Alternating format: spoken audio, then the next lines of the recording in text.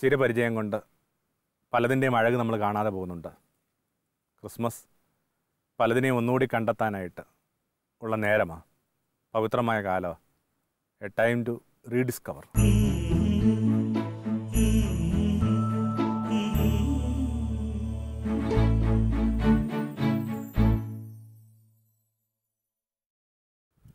അത്തരം കണ്ടെത്തലുകളിൽ ഏറ്റവും പ്രധാനപ്പെട്ട കണ്ടെത്തൽ ജീവിച്ചുകൊണ്ടിരിക്കുന്ന ജീവിതത്തിന്റെ അഴക് കാണുക പലപ്പോഴും നമ്മളതിന് തീരെ ശ്രദ്ധിക്കാറില്ല. അതുകൊണ്ടാണ് ആ മഹാഗുരു ഇങ്ങനെ പറഞ്ഞത്. നിങ്ങൾ കാണുന്നവ കാണാൻ കഴിഞ്ഞ കണ്ണുകൾ എത്ര അനുഗ്രഹീതം. നിങ്ങൾ കേൾക്കുന്നവ കേൾക്കാൻ കഴിഞ്ഞ കാതുകൾ എത്ര അനുഗ്രഹീതം.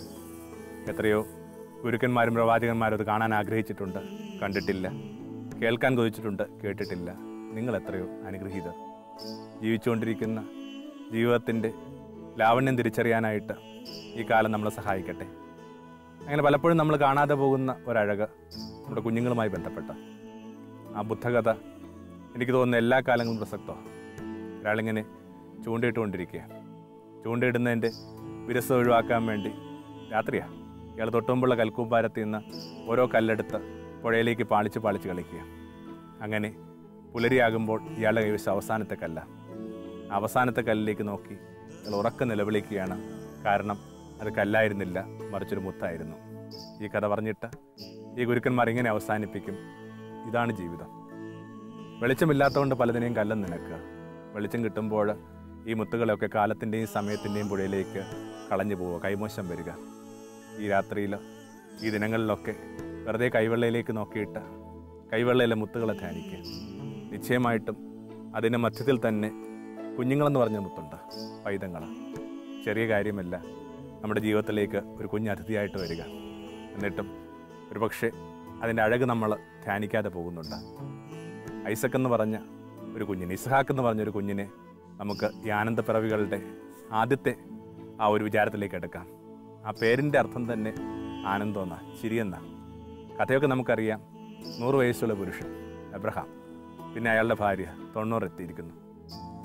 ജനസിസ് ഉൽ ഉൽപ്പത്തി പതിനേഴ് പതിനേഴിൽ ദൈവം അയാളുടെ ജീവിതത്തിലേക്ക് വന്നിട്ട് പറയുന്ന ഒരു കാര്യമുണ്ട്. അടുത്ത വർഷം സാറ ഒരു കുഞ്ഞിന്റെ കൂടെ ആയിരിക്കും. സാറയുടെ മടിയിലൊരു ഒരു കുഞ്ഞുണ്ടാവും. അപ്പോൾ അബ്രഹാം ഇങ്ങനെ ചിരിച്ചെന്നാ പറയുക. ആ ചിരിയിൽ തന്നെയാണ് ഐസക്കിന്റെ കഥ ആരംഭിക്കുന്നത്. ആ ചിരി എന്ന് പറയുന്നത് നിരാശയുടെ ചിരിയാണ് സങ്കടത്തിൽ മനുഷ്യർ ചിരിക്കുന്ന നിങ്ങൾ കണ്ടിട്ടില്ലേ? ചിരി എപ്പോഴും ഇങ്ങനെ പരിഹാസം കൊണ്ടോ അല്ലെങ്കിൽ ആനന്ദം കൊണ്ടോ ആവണമെന്നില്ല. കൊടിയ നൈരാശ്യത്തിലും സങ്കടത്തിലുമൊക്കെ ചിരിക്കുന്ന എത്ര മനുഷ്യർ നിങ്ങൾ കാണണം? ആ സങ്കടത്തിന്റെ ചിരിയാണ് ആ നൈരാ നിരാശയുടെ ചിരിയാണ് വാസ്തവത്തിൽ അബ്രഹാമിന്റെത്. പിന്നെ അവർക്കൊരു അതിഥി ഉണ്ടാകുന്നു. യഹോവ തന്നെ അതിഥിയുടെ രൂപത്തിൽ വന്നതാണെന്നൊക്കെയാണ് നമ്മുടെ ആ പരമ്പരാഗത സങ്കല്പം. ആ അതിഥി മടങ്ങിപ്പോകുമ്പോൾ പറഞ്ഞു അടുത്ത വർഷം വരുമ്പോൾ ഞാൻ വരും. വരുമ്പോൾ സാറയോടൊപ്പം ഒരു കുഞ്ഞുണ്ടാവും. സാറ ഇങ്ങനെ മറഞ്ഞു നിന്ന് കേൾക്കുക അവളും ചിരിക്കുക. പുരുഷനും സ്ത്രീയും ഒരേപോലെ ചിരിക്കുക. വയോധികരായ അനപത്യതയുടെ കനലിൽ എരിഞ്ഞുകൊണ്ടിരിക്കുന്ന രണ്ട് പാവപ്പെട്ട മനുഷ്യരെ ചിരിയാത് ദൂത ഈ അതിഥി പറഞ്ഞു സാറാ നീ ചിരിച്ചു. അവൾ ഭയന്ന് പറഞ്ഞു ഇല്ല ഞാൻ ചിരിച്ചിട്ടില്ല. ഒരു വർഷം കഴിയുമ്പോൾ ആ കൃത്യമായിട്ട് ആ അതിഥി അവരുടെ ജീവിതത്തിലേക്ക് പ്രവേശിക്കുക. ആ ഈശ്വരാംശം എന്ന് പറയുന്ന അതിഥി ജീവിതത്തിലേക്ക് പ്രവേശിക്കുക. അത് അവരുടെ കുഞ്ഞിന്റെ കുഞ്ഞായിട്ടാണ് ഐസക് ഐസക് നേരത്തെ സൂചിപ്പിച്ച കണക്ക്. ആ ചിരിയുടെ കാരണം എന്നൊക്കെ അതിന്റെ അർത്ഥമുണ്ട്. സാറ് പറയുന്നുണ്ട് എന്റെ അപമാനം നീക്കാനായിട്ട് എന്റെ ഇരുളകറ്റാനൊക്കെ ആയിട്ട് എന്റെ ജീവിതത്തിലേക്ക് ഒരു കുഞ്ഞ് വന്നിരിക്കുന്നു. ആ കോസ് ഓഫ് മൈ സ്മൈൽ എന്റെ ചിരിയുടെ കാരണമെന്ന അർത്ഥത്തിൽ അവർ കുഞ്ഞിന് ഐസക് എന്ന് പേരിട്ടു. കുഞ്ഞുങ്ങളൊക്കെ ഈ ചിരിയുടെ കാരണമാണ്. ആ ചിരി എന്ന് പറയുന്നത് ഇങ്ങനെ ഒരു വെറുതെ ഒരു പെരിഫറൽ ഒരു ഉപരിതലത്തിലുള്ള സന്തോഷങ്ങൾ അനുഭവിക്കുന്ന ചിരിയല്ല. മറിച്ച് സാത്വികമായ ചിരിയാണ് രണ്ടാം ഘട്ടം. നിരാശയുടെ ചിരിയിൽ ആരംഭിച്ച് സാത്വികമായ പുഞ്ചിരിയിലേക്ക് എത്തും. സാത്വികമായ പുഞ്ചിരി എന്നൊക്കെ പറയുമ്പോൾ ബുധൻ എടുക്കുക ആ ബുദ്ധൻ പുഞ്ചിരിക്കുക എന്നൊക്കെ ഉള്ളത് നമുക്ക് അറിഞ്ഞുകൂടാ. പക്ഷേ എവിടെ ബുദ്ധായുടെ ഒരു ശില്പം കാണുമ്പോൾ നിങ്ങൾക്കറിയാം അതിനകത്ത് നിന്ന് അകത്തു നിന്ന് എന്തൊരു ചിരിയുണ്ട്. ചിരി എടുക്കുക മോണലിസ്റ്റായിട്ട് ചിരിയെക്കുറിച്ച് പഠിക്കുമ്പോൾ ഒരു ഒരു ഹൈപ്പതിസിസ് പോലും ഇതാണ്. ആ അദ്ദേഹം മോഡലായിട്ട് വരച്ചിരിക്കുന്ന ആ മോണലിസ എന്ന് പറയുന്ന സ്ത്രീ ആ സമയത്ത് ഗർഭിണിയായിരുന്നു. അകത്തിങ്ങനെ ജീവന്റെ തളർപ്പുകൾ മനസ്സിലാക്കിയ ഒരു സ്ത്രീയുടെ ചിരിയാണിത്. ഇങ്ങനെ ജീവിതവുമായി ബന്ധപ്പെട്ട ഒരു കൃത്യമായ ഒരു അറിവ് ലഭിക്കുകയാണ് കുഞ്ഞ് നമ്മുടേതല്ല. കുഞ്ഞ് വെറുതെ ഈശ്വരൻ ഈ കയ്യിലേക്ക് തരുന്നതാ. നമ്മുടെ സന്തോഷത്തിന്റെ കാരണമായിട്ട് തരുന്നതാ. മക്കബാര പുസ്തകമൊക്കെ നമ്മൾ വായിച്ചിട്ടുണ്ടാവും. മക്കബാര പുസ്തകത്തിൽ ഏഴ് മക്കളുടെ അമ്മ. ഏഴാമത്തെ ആളും ഇങ്ങനെ വലിയ ഇങ്ങനെ കഴിമരത്തിലേക്ക് പോകാനാകും പോകും പോകാറാകുമ്പോൾ അയാൾ പറയുന്നുണ്ട് അമ്മ ആറ് പേര് മരിച്ചു. അമ്മയ്ക്ക് ഞാൻ മാത്രമേ ഉള്ളൂ. ഞാനും പോകണം അപ്പോൾ ഈ സ്ത്രീ ആ മകനെ ഇങ്ങനെ ചേർത്ത് പിടിച്ചുകൊണ്ട് പറഞ്ഞു കുഞ്ഞെ നീ എങ്ങനെയാണ് എന്റെ ഉദരത്തിൽ രൂപപ്പെട്ടതെന്ന് എനിക്ക് അറിഞ്ഞുകൂടാ നിനക്ക് മജയും മാംസവും നൽകി ഞാനല്ല. മറ്റേതോ ശക്തി. ആ പരാശക്തിയാണ് കുഞ്ഞുങ്ങളെ സമ്മാനിക്കുന്ന അറിവിൽ നിന്നുണ്ടാവുന്ന സാത്വികമായ നിർമ്മലമായ ഒരു ചിരിയാണിത്. വേദപുസ്തകം പിന്നെയും നമ്മൾ വായിക്കുന്നുണ്ട് എന്റെ അമ്മയുടെ ഉദരത്തോട് ചേർത്ത് എന്നെ തുന്നിച്ചേർത്ത നീയാണ്. മനുഷ്യന്റെ ആ പിറവിയുടെ പിന്നുള്ള കാരണം മനുഷ്യനല്ല ഈശ്വരനാണെന്ന് അറിവിൽ നിന്ന് ലഭിക്കുന്ന അഗാധമായ ആ ചിരിയിൽ നമുക്ക് ഈ ആനന്ദപ്പിറവികൾ ആരംഭിക്കാം. കുഞ്ഞുങ്ങളെയൊക്കെ ഓർത്തിട്ട് അത് കണ്ടെത്താനായിട്ട് പറ്റണം. എന്റെ കാരണം കൊണ്ടല്ല ഈ കുഞ്ഞ് എന്റെ ജീവിതത്തിൽ അതിഥിയായിട്ട് വന്നത്. അതുകൊണ്ട് തന്നെ സംഭവിച്ച ഒരു കാര്യമുണ്ട്. നമുക്കറിയാം വേദപുസ്തകത്തിൽ ഒരു അഞ്ചോളം വയോധിരായ മാതാപിതാക്കന്മാർക്ക് ഇതാണ് കുഞ്ഞുങ്ങൾ ലഭിക്കുന്നുണ്ട്. ഈ കാരണം കൃത്യമായിട്ട് മനസ്സിലാക്കാൻ വേണ്ടിയാണ് ആരൊക്കെയാണ് ആ മാതാപിതാക്കളിൽ നിന്ന്? ഒന്ന് സാംസന്റെ അപ്പനും അമ്മയും? വളരെ ശക്തനായ ഒരു മനുഷ്യൻ. രണ്ട് സാമുൽ എന്ന് പറയുന്ന എക്കാലത്ത് നീതിമാനായ ഒരു മനുഷ്യന്റെ പേരൻസ്. അവർക്കും വാർദ്ധക്യത്തിൽ തന്നെയാണ് കുട്ടികളുണ്ടാകുന്നത് പിന്നെ സ്വാഭാവികമായിട്ട് ആദ്യം സൂചിപ്പിച്ച അബ്രഹാത്തിനും സാറാക്കും ലഭിക്കുന്ന ഇസഹാക്ക് പിന്നെ വരുന്നത് ഏലിയായുടെ പ്രവചനത്തിൽ വരുന്ന സുസാങ്കാരിയായ ഒരു സ്ത്രീക്ക് ലഭിക്കുന്ന കുട്ടി അയാൾ ഒരു പ്രത്യേക കഥാപാത്രമായിട്ട് വേദപുസ്തകത്തിൽ അധികം പ്രത്യക്ഷപ്പെടുന്നില്ല. അവർക്കും വാർദ്ധക്യത്തിൽ തന്നെ കുഞ്ഞുണ്ടാകുന്നു പിന്നെ അഞ്ചാമതായിട്ട് സ്വാഭാവികമായിട്ട് യേശുവിന് മുന്നോടിയായിട്ട് വരുന്ന സ്ഥാപകന്റെ ജന്മം. അഞ്ചോളം വയോധികരായ ദമ്പതികൾക്ക് ലഭിക്കുന്ന ഈ കുഞ്ഞുങ്ങൾ ഭൂമിയോട് പറയാനായിട്ട് ആഗ്രഹിക്കുന്ന ഒരു കാര്യം ഇതാണ്. കുഞ്ഞിനെ കുറേ കൂടി ഗൗരവമായിട്ടെടുക്കുക ആരോ നൽകിയൊരു സമ്മാനമായതുകൊണ്ട് ആ സമ്മാനത്തെ ഈ കൈകൂപ്പിയും നമസ്കരിച്ചും ഒക്കെ കാണാനായിട്ട് പഠിക്കുക.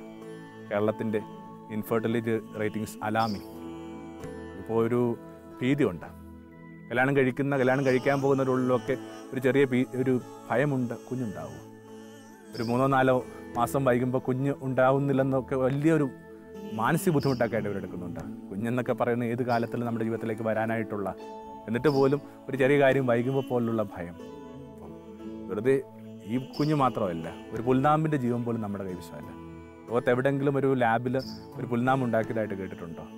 നമ്മൾ എത്ര ശ്രദ്ധിച്ചിട്ടും ചില നാമ്പ് വിഷങ്ങൾ കരിഞ്ഞു പോകുമ്പോൾ നമ്മൾ അവഗണിക്കുന്ന ചില കാര്യങ്ങളൊക്കെ പാറയിലും പൊടിക്കുന്നതിന്റെ അർത്ഥം എന്താണ്? ആ ആ ജീവനെന്ന് പറയുന്ന മഹാവിസ്മയം നമ്മുടെ കുഞ്ഞുങ്ങളിലൂടെ വെളിപ്പെടുത്തിയ ആ പരാശക്തി നമസ്കരിച്ചുകൊണ്ട് കുഞ്ഞുങ്ങളെ കുറെ കൂടി അപ്രിഷ്യേറ്റ് ചെയ്യും. കുഞ്ഞുങ്ങൾ ഗൗരവമായിട്ടെടുക്കാം അതുകൊണ്ട് തന്നെ ഒരു കുഞ്ഞ് കാര്യം നിങ്ങൾ ശ്രദ്ധിച്ചാൽ മനസ്സിലാകും. ഈ മാതാപിതാക്കന്മാർക്കൊക്കെ ഒരു വലിയൊരു ക്വാളിറ്റി ലൈഫ് ഉണ്ടായിരുന്നു.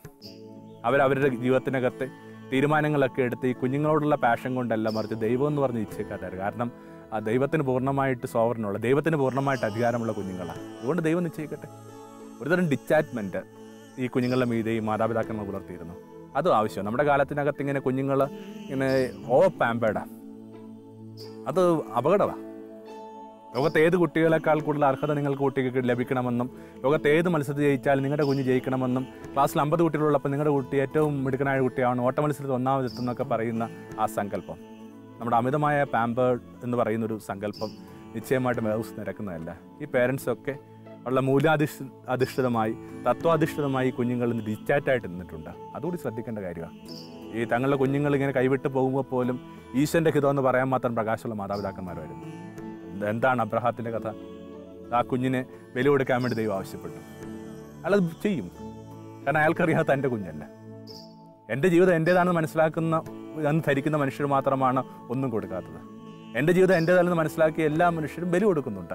അത് സമരമുഖങ്ങളിലായിക്കൊള്ളട്ടെ പോരാട്ടങ്ങളിലായിക്കൊള്ളട്ടെ രാജ്യവുമായി ബന്ധപ്പെട്ടായിക്കൊള്ളട്ടെ സംസ്കാരവുമായി ബന്ധപ്പെട്ടായിക്കൊള്ളട്ടെ ഗാർഹികമെന്ന് പറയുന്ന വിശേഷ പദങ്ങളായിക്കൊള്ളട്ടെ എന്റെ ജീവൻ എന്റെ എല്ലാം തിരിച്ചറിയുന്നവർക്ക് മാത്രമേ ബലി കൊടുക്കാൻ പറ്റൂ. ആ ഐസക്കിന്റെയൊക്കെ ബലിയിൽ കൃത്യമായിട്ട് യേശുവിന്റെ നിഴൽ വന്ന് വീണ് കിടപ്പുണ്ട്. എപ്പോഴും നമ്മൾ ശ്രദ്ധിക്കേണ്ട ഒരു കാര്യം ഇതാണ്. ഈ പഴയ നിയമവും പുതിയ നിയമവും തമ്മിലുള്ളൊരു പ്രധാനപ്പെട്ട ഒരു സാമ്യം ബന്ധം എന്ന് പറയുന്നത് പഴയ നിയമം എന്ന് പറയുന്ന നിഴലാണ് പുതിയ നിയമം എന്ന് പറയുന്ന പൊരുള. സബ്സ്റ്റൻസ് ആൻഡ് ഷാഡോ സൂര്യന് നേരെ നിന്ന് ചെറുപ്പക്കാരന്റെ പേരെ യേശു. അത്രയും സൂര്യന് നേരെ നിന്നുകൊണ്ട് അവിടെ നിഴൽ എല്ലാ കഥാപാത്രങ്ങൾക്കും വന്ന് വീണിട്ടുണ്ട്. ഐസക്കിലേക്ക് ഈ നിഴൽ കൃത്യമായിട്ട് വന്ന് കിടപ്പുണ്ട്. കാരണം ദാ മോറിയ മല കയറുന്ന ഐസക്കിനെ എടുക്ക്. മല കയറുമ്പോൾ എങ്ങനെയാണ് പോകുന്നത്? ആ ബലിക്കാവശ്യമായ വിറക് പോലും ഇങ്ങനെ ചുമലി കെട്ടി കൈ തീയൊക്കെ ആയിട്ടാണ് പോകുന്നത്. മല കയറുമ്പോൾ മകൻ അപ്പനോട് ചോദിക്കുന്നുണ്ട് അപ്പ കയ്യിൽ വിറകുണ്ട് തീയുണ്ട് എവിടെ ബലിമൃഗം? അയാൾ അറിയുന്നില്ല ആ കയറിക്കൊണ്ടിരിക്കുന്ന മനുഷ്യൻ തന്നെയാണ് ശരിയായ ബലിമൃഗമെന്ന്. യേശുവിന്റെ കഥയല്ലേ? കയ്യിൽ തോളിൽ കുരിശുമായിട്ട് പോകുന്ന യേശുവിന്റെ കഥയല്ലേ? വിറകുണ്ട് തീയുണ്ട് എന്താ ബലിമൃഗം? അത് അവിടുന്ന് തന്നെയാണ് ഈ ഡബിൾ ബോ എന്ന് പറഞ്ഞൊരു സങ്കല്പം സിനിമ ഭാഷയിൽ നമ്മൾ ഉപയോഗിക്കാറുണ്ട്. ഒരേ കാര്യം തന്നെ ആദ്യം കാണുമ്പോൾ നമുക്ക് അതിനകത്ത് അത്രയും പ്രത്യേകം തോന്നത്തില്ല. പക്ഷെ അതിങ്ങനെ ആവർത്തിച്ച് വരുമ്പോഴേക്കും നമുക്ക് തോന്നുന്നുണ്ട് ഇതിനകത്ത് എന്തോ ചില കാര്യങ്ങളുണ്ട്. അത് കണക്ക് ഐസക്കിൽ ആരംഭിച്ച ഈ കഥയുടെ കൃത്യമായ ഡബിൾ ബ്ലോയാണ് കാൽവരുമല മോറിയാട് തന്നെ ആവർത്തനം. പിന്നെ വ്യത്യാസമുണ്ട്. അവിടെ ഐസക്കിന് വേണ്ടി പകരമായിട്ട് ദൈവം ഒരു ആട്ടിൻകുട്ടിയെ കണ്ടുവച്ചിരുന്നു. എന്നാൽ കാൽവരിയിൽ തന്റെ പുത്രന് പകരമായിട്ട് ദൈവം ആട്ടിൻകുട്ടിയെ കണ്ടെത്തിയില്ല. ക്രിസ്മസ് എന്ന് പറയുന്നത് ദൈവം ബലി കൊടുത്ത ദിവസമാണ്. ആരും വിചാരിക്കരുത്. കാൽവരിയിലായിരുന്നു ദൈവത്തിന്റെ ബലി. ദൈവത്തിന്റെ ശരിയായ ബലി ആരംഭിക്കുന്നത് ക്രിസ്മസിനാണ്. തന്റെ ഏകജാതനെ നൽകുമാറ്. ദൈവം ഭൂമി അത്രമാത്രം സ്നേഹിച്ചെന്ന് പറയുമ്പോൾ അതിനകത്ത് നിശ്ചയമായിട്ടും അബ്രഹാത്തിന്റെയും ഐസക്കിന്റെയും കഥ ഇങ്ങനെ കിടപ്പുണ്ട്. ഈ എല്ലാ മാതാപിതാക്കന്മാരും തങ്ങളുടെ ജീവിതത്തെ ബലിയാക്കി മാറ്റാനായിട്ട് ഈ കുഞ്ഞുങ്ങളെ പ്രേരിപ്പിച്ചിട്ടുണ്ട് പഠിപ്പിച്ചിട്ടുണ്ട്. അവർ വളരെ ഡിച്ചാറ്റ അത് സാമൂഹിക കഥ എടുക്കുക ചെറിയ പ്രായത്തിൽ കുട്ടിയെ കൊണ്ടുപോയി പള്ളി കൊണ്ട് കൊടുക്കുന്ന അർത്ഥം എന്താണ്? തങ്ങളുടെ കുഞ്ഞല്ല. ആ കുഞ്ഞിന് അവകാശപ്പെട്ടിടത്തേക്ക് ആ കുഞ്ഞ് പോകട്ടെ? നമ്മുടെ നാട്ടിൽ ഉണ്ട്. വയോധികനായ ഒരു മനുഷ്യൻ ലഭിച്ചൊരു കുഞ്ഞിന്റെ കഥ. അതൊന്ന് ഓർമ്മിച്ച് ചെറിയ പ്രാർത്ഥനയിൽ കാര്യങ്ങൾ നമുക്ക് സംഗ്രഹിക്കാവുന്നേ ഉള്ളൂ. ആ മനുഷ്യന്റെ പേര് പൂന്താനോ. ശ്രീകോലിന്റെ നടയിൽ നിന്ന് എന്നും പാടിക്കൊണ്ടിരുന്ന മനുഷ്യനാണ്. ജ്ഞാനകവി ഭക്തകവി വയോധികനാണ് കുഞ്ഞില്ല. എന്നിട്ടോ വാർദ്ധക്യത്തിൽ അയാൾക്കൊരു അനുഗ്രഹം കിട്ടിയ ഒരു കുഞ്ഞിനെ കിട്ടിയ. വാർദ്ധക്യത്തിൽ കുഞ്ഞിനെ കിട്ടിയ ഒരാളുടെ അനുഗ്രഹം ആഹ്ലാദമൊക്കെ നമ്മൾ എന്തിനാണ് കൂടുതൽ നരേറ്റ് ചെയ്യണത്? എന്നിട്ടോ ഒന്നാമത്തെ പിറന്നാൾ വരിക പഴയ കാലമാണ് ഈ പിറന്നാൾ വളരെ ആഘോഷമായിട്ട് തീരുമാനി നടത്താനായിട്ട് മനുഷ്യൻ തീരുമാനിക്കുന്നു. എല്ലാ ബന്ധുക്കൾക്കുമൊക്കെ സന്ദേശങ്ങൾ പോകുന്നു ക്ഷണം പോകുന്നുണ്ട്. തലേന്ന് യാത്ര ചെയ്തിട്ട് സഞ്ചരിക്കുന്നവർ ദൂരത്തിൽ നിന്ന് ഓരോരുത്തരും വരിക. അങ്ങനെ പിറ്റേന്ന് പിറന്നാളാണ് തലേന്ന് പ്രഭാതത്തിൽ തന്നെ യാത്ര ആരംഭിച്ച് വരുന്ന ഈ ബന്ധുക്കൾക്ക് വേണ്ടി ചെയ്യുന്ന ഒരു ആതിഥ്യം എന്ന് പറയുന്നത് അവർ കുളിച്ചു കയറി വരുമ്പോഴേക്കും അവരുടെ വിഴുപ്പ് വസ്ത്രങ്ങൾ മാറ്റിയിടാനായിട്ടൊരിടമുണ്ട് എന്നിട്ട് അലക്കി വെച്ച ഇസ്തിരിയിട്ട വസ്ത്രങ്ങൾ എടുത്തു കൊടുക്കാം. അങ്ങനെ ഓരോരുത്തരും സന്ധ്യയാകുമ്പോൾ വരുന്നു കുളിച്ച് വരുന്നു വിഴുപ്പ് വസ്ത്രങ്ങൾ മുറി മാറിയിടുന്നു അലക്ക് വസ്ത്രങ്ങൾ എടുത്തു കൊടുക്കുന്നു. പക്ഷേ ചെറിയൊരു അല്ലെങ്കിൽ വലിയൊരു ദുരന്തം സംഭവിച്ചു. ഈ അഴുക്ക് വസ്ത്രങ്ങൾ മാറിയിടുന്ന ആ മുറിക്കകത്ത് ഈ നാളെ പിറന്നാൾ ആഘോഷിക്കേണ്ട കുഞ്ഞുണ്ടായിരുന്നു. ഒത്തിരി പേരുടെ വിഴുപ്പ് വസ്ത്രങ്ങളിലും ഈ താഴെ കിടന്ന് ആ കുഞ്ഞ് ശ്വാസം വിട്ട് മരിച്ചു നിങ്ങൾ എന്ത് ചെയ്യും? ഇത്തരം ഒരു സാഹചര്യം. വാർദ്ധക്യത്തിൽ കിട്ടിയ ഒരു കുഞ്ഞിനെ കളഞ്ഞു പോയ ഒരു മനുഷ്യൻ എന്ത് ചെയ്യും? എനിക്കറിഞ്ഞുകൂടാ. ഓരോരുത്തർ എങ്ങനെയൊക്കെ ഇതിന് പ്രതികരിക്കുന്നത്? എന്തായാലും പൂന്താനം പ്രതികരിച്ചത് പൂന്താനത്തിന്റെ നിലപാട് എങ്ങനെയായിരുന്നു? പിറ്റേന്നും നട തുറക്കുമ്പോൾ ആ ശ്രീകോവിലിന് മുമ്പിൽ ആ മനുഷ്യനുണ്ട്. നട തുറന്നപ്പോൾ ആ മനുഷ്യൻ പാടിയ പാട്ട് നിങ്ങൾ ചെറിയ ക്ലാസ്സുകളൊക്കെ പഠിച്ചിട്ടുണ്ടാകും ഉണ്ണിക്കണ്ണൻ മനസ്സിൽ മേയുമ്പോൾ എനിക്ക് ഉണ്ണികൾ എന്തിനു വേറെ? ഉണ്ണികളെക്കാൾ വലിയൊരു ചൈതന്യം ഉള്ളിടത്തോളം കാലം. ആ ഉണ്ണികളെ സ്വീകരിച്ച് അവിടെ നിന്നായത് കൊണ്ട് കാര്യം. അതുകൊണ്ട് അവിടുത്തെ ഹിതങ്ങൾ പൂർത്തിയാവട്ടെ. ഒരേ സമയത്ത് കുഞ്ഞുങ്ങളെ പ്രഷ്യസായി എടുക്കുകയും ഒരേ സമയത്ത് കുഞ്ഞുങ്ങളെ ഡിറ്റാറ്റായിട്ട് എടുക്കാനും പറ്റുന്ന ഒരു ആരോഗ്യകരമായ നിലപാടുണ്ട്. അത്തരം ഒരു ഇക്ലിബ്രിയത്തിന്റെ ഏറ്റവും നല്ല ലേണിംഗ് നമുക്ക് ലഭിക്കുന്നത് ഇസാക്കിന്റെയും അബ്രഹത്തിന്റെയും കഥയാണ്. കുഞ്ഞുങ്ങൾ നമ്മുടേതാണ് നിശ്ചയമായിട്ടും. പക്ഷേ ആ തന്ന പരാശക്തിക്ക് അവർ കീഴ്പ്പെട്ട് ജീവിക്കട്ടെ. അത് ജീവിക്കാനായിട്ട് അവരെ പ്രേരിപ്പിക്കുക എന്നുള്ളതായിരിക്കും നമ്മുടെ ധർമ്മം. കുഞ്ഞുങ്ങളെ ചിരിയുടെ കാരണം എന്നൊക്കെ പറയുമ്പോൾ വേറൊരു കുഞ്ഞു വിഷമം വരുന്നുണ്ട്. നമ്മുടെ ചിരിയുടെ കാരണമായി മാറുന്ന കുഞ്ഞുങ്ങളുടെ ചിരിയെ നിലനിർത്താനായിട്ട് നമ്മൾ എന്ത് ചെയ്യുന്നുണ്ട്? കുഞ്ഞുങ്ങളുടെ ചിരിയെ നിലനിർത്താൻ പറ്റുന്ന സാഹചര്യങ്ങളാണ് നടന്നുകൊണ്ടിരിക്കുന്നത്. ക്രിസ്മസും ഒക്കെ വരുന്നു. മദ്യപിച്ചുകൊണ്ടും അമിതമായ വിനോദങ്ങളിലും കലഹങ്ങളിലും ഒക്കെ ഏർപ്പെട്ടുകൊണ്ടൊക്കെ മനുഷ്യർ ജീവിക്കുന്ന ഒരു പരിസരത്തിനകത്ത് ഈ കുഞ്ഞുങ്ങളുടെ പുഞ്ചിരി നിലനിർത്താൻ പറ്റും നിങ്ങൾ കരുതുന്നുണ്ടോ? ഈ ക്രിസ്മസിന് നിങ്ങളുടെ ജീവിതത്തിലേക്ക് ആനന്ദം നൽകിയ കുഞ്ഞുങ്ങൾക്ക് നിങ്ങൾ എന്ത് സമ്മാനമായിരിക്കും കൊടുക്കാൻ ആഗ്രഹിക്കുക? എല്ലാവർക്കും ഈ ക്രിസ്മസ് അടുത്ത് വരുമ്പോൾ അങ്ങനെ ഒരു വിചാരമുണ്ട്. എന്തായിരിക്കും ഇത്തവണ എന്റെ കുഞ്ഞിന് കൊടുക്കേണ്ട ക്രിസ്മസ് സമ്മാനം? റീഡേഴ്സ് സൈസിൽ വന്ന ആ കുഞ്ഞ് കഥ പറഞ്ഞിട്ട് വിചാരം അവസാനിപ്പിക്കാം. ഒരു മനുഷ്യൻ ക്രിസ്മസിൻ ത- ഈവ തലേന്ന. നന്നായിട്ട് മദ്യപിച്ച് വന്നിട്ട് ഇങ്ങനെ പ്ലാറ്റ്ഫോമിൽ വന്ന് നിൽക്കുക അയാൾക്ക് നേരെ അടക്കാനുള്ളൊരു ബലമില്ല. അപ്പോൾ ഒരു പോട്ടറി മനുഷ്യൻ സഹായിക്കാൻ വേണ്ടി തീരുമാനിച്ചു. കൈക്ക് പിടിച്ച് പുറത്തേക്ക് കൊണ്ടുപോയി. ഒരു സൂപ്പർ മാർക്കറ്റിന് മുമ്പിൽ വന്നപ്പോഴേക്കും പറഞ്ഞു നീ എനിക്കൊരു കുഞ്ഞ് സഹായം കുടിക്കാണ് എന്റെ കുഞ്ഞിന് വേണ്ടി ഒരു സമ്മാനം തപ്പിത്ത അപ്പോൾ ഈ പോട്ടർ ഈ മനുഷ്യനെ ഇങ്ങനെ നോക്കി നിന്നിട്ട് പറഞ്ഞു സർ നിങ്ങൾക്ക് കൊടുക്കാവുന്ന നിങ്ങൾ ഇനിയും കൊടുത്തിട്ടില്ലാത്ത ഒരു സമ്മാനമുണ്ട്. അത് കണ്ടെത്തി കൊടുക്കൂ സർ. അയാൾ ചോദിക്കുന്നു എന്താണത്? അപ്പോൾ ഈ പോട്ടർ ഈ മനുഷ്യനെ നോക്കി പുഞ്ചിരിച്ചുകൊണ്ട് പറഞ്ഞു നിങ്ങളെ തന്നെ സമ്മാനമായിട്ട് കൊടുക്കുക നിങ്ങളെ തന്നെ സമ്മാനമായിട്ട് കൊടുക്കുക മദ്യപിക്കാതെ പുഞ്ചിരിച്ചു വരുന്ന സ്നേഹസമ്പന്നായ ഒരപ്പനേക്കാൾ നല്ല സമ്മാനം മക്കൾക്ക് എവിടെയാണ് കിട്ടാനുള്ളത്? അത്തരം ചില സമ്മാനങ്ങൾ കൂടി നൽകാനായിട്ട് ഈ കാലം നമ്മളെ ഓർമ്മിപ്പിക്കട്ടെ.